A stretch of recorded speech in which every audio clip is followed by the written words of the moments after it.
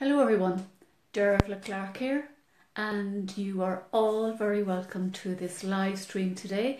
And for those of you watching the replay you are all very welcome. So please do like, do share, do comment on my live stream and let's spread the word.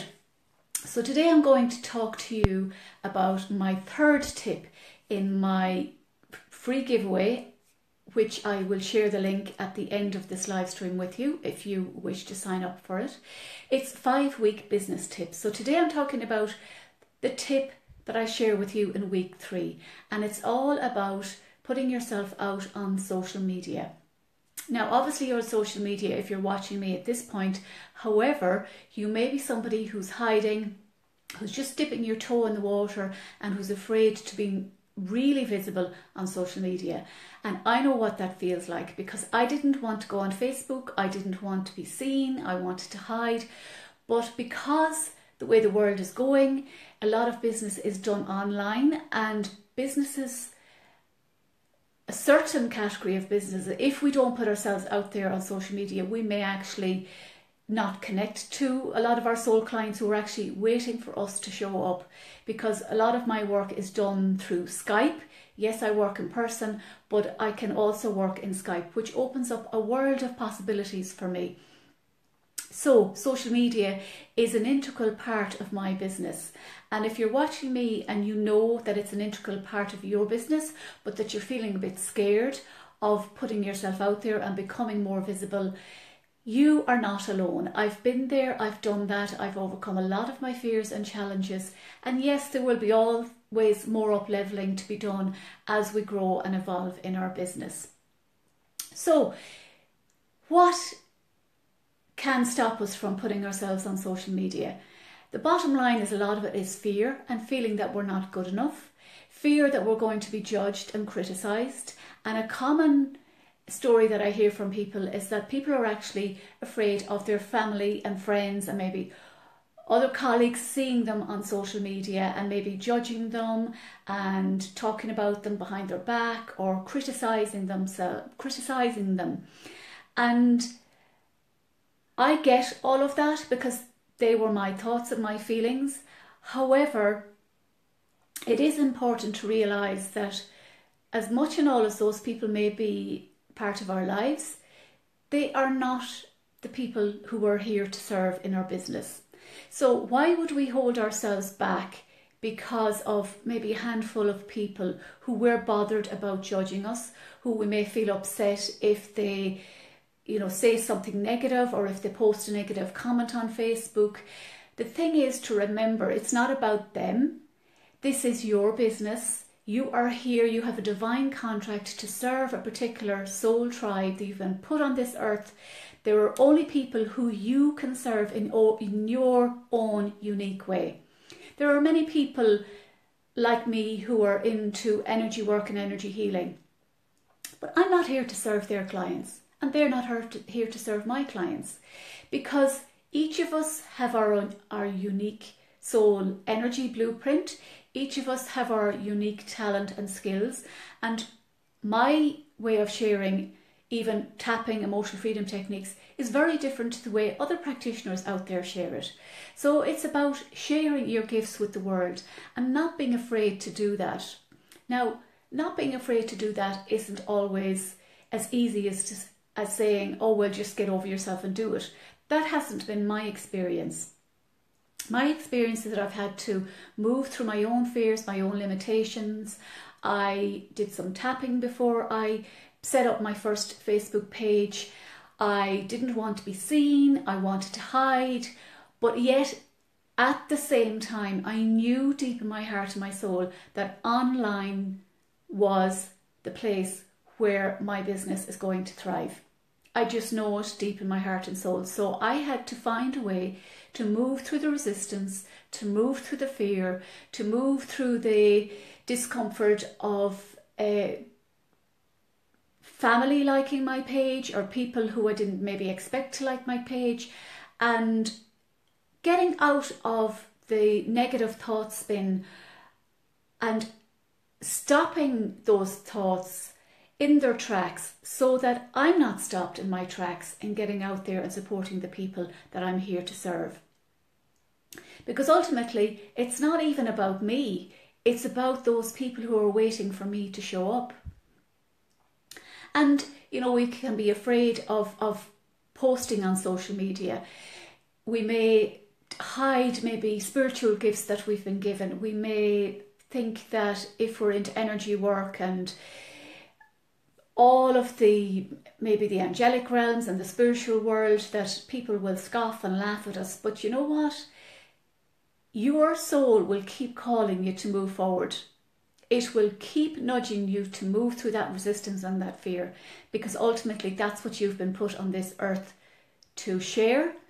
Um, my connection is showing as weak. I hope it's staying strong enough. So for those of you maybe you know your business might be outside of the norm of the standard shop or business that supplies goods and it can be a little bit what's classified as woo woo like mine. And yes it takes time to establish um, comfort on social media and social media can change so often that there is always that learning involved in it.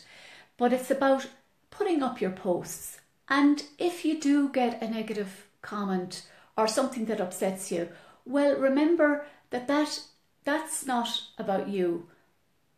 That other person has a different point of view, has a different opinion, has a different perception on life. So just stop taking it personally.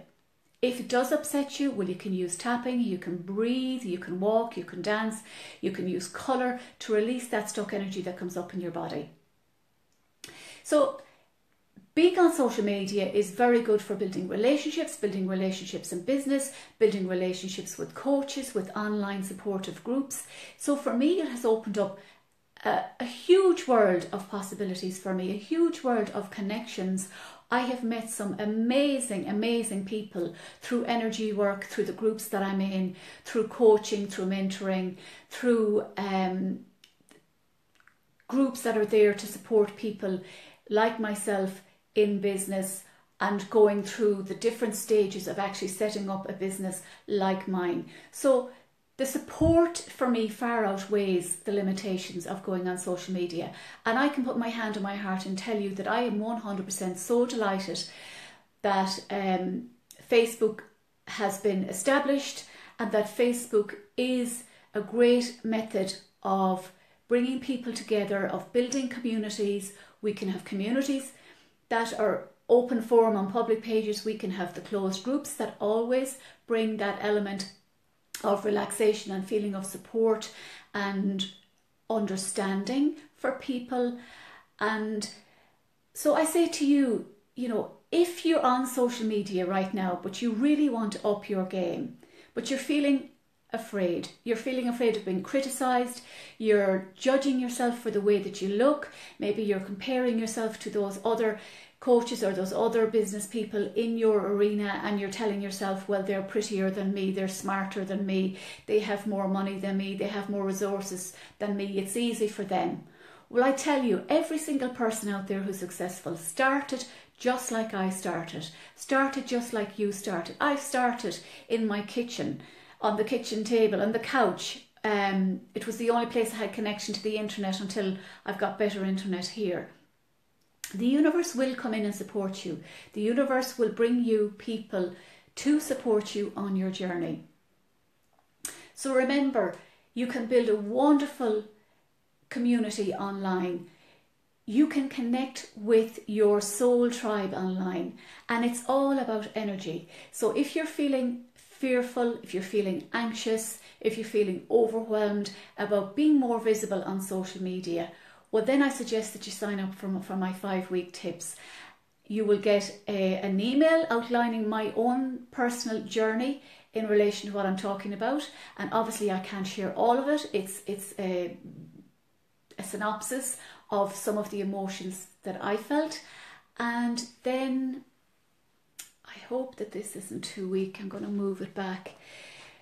Then you will get a tapping script that you can download. You can have it in your bag. You can have it handy by your side so that if you do start to feel overwhelmed or feel a bit anxious about going on social media, you have that to support you. And also, I've created a video for you to tap along with me to release stress and anxiety and fear that are holding you back from becoming more visible, from sharing your light with the world so that you can attract your ideal clients. Because remember, you are unique. There is only one of you on this planet. Now, how amazing is that? So it's time for you to be seen. It's time for you to share your message in your own unique way. That doesn't happen overnight. It's an ongoing process. Businesses grow and evolve, and it's important for us to grow and evolve along with our businesses because ultimately we are our businesses. So if we hold on to that fear, that stress, that limitations, well, then we're not going to spread the word, share our gifts with the world in a way that we're born to do that. Now, the choice is yours as to how big you want your following to be on social media. The choice is yours as to how many clients you say yes to. Because ultimately you know you can say yes you can say no. And i think that going on social media what brings up fear for people is that they don't actually have control over who's watching their posts. They don't have control over who likes their business page. Yes if we have groups online we can accept people or we can say well actually i feel that you're not a right fit for this group. So, being the administrators of the group, we can control that. However, we can't control whether somebody likes or doesn't like what we share on our pages. But my own personal experience and my own journey is every step forward I take, every piece of fear that I move through, move through brings me to a different level of awareness about myself, lets go of limiting beliefs and fears that I've held on to. And these fears can stem from in your childhood. This fear of being judged or ridiculed or criticised can often stem back to something that happened in the school playground or something when you were growing up in your family or with siblings or friends outside of that. So never underestimate how your fear is actually a gift because your fear is showing you what it is that if you move through it will bring freedom on the other side. And that's why I love emotional freedom techniques because it does that. It does bring freedom from those heavy feelings of fear, of stress, and anxiety. So, if you want to be more visible on social media, Sign up for my five tips. You have nothing to lose and everything to gain. And you can find out more about me at www.dervillaclarke.com and feel free to private message me if you have any queries. Comment below on, you know, do you love social media? Does it bring up some fear and some unresolved emotions for you? Self doubt, judgment, comparison, any of what I've spoken about. So I would love for you to comment below, let me know, and I'll share the link in the comments below of this Facebook Live. So that's it, talking about my week three tip today.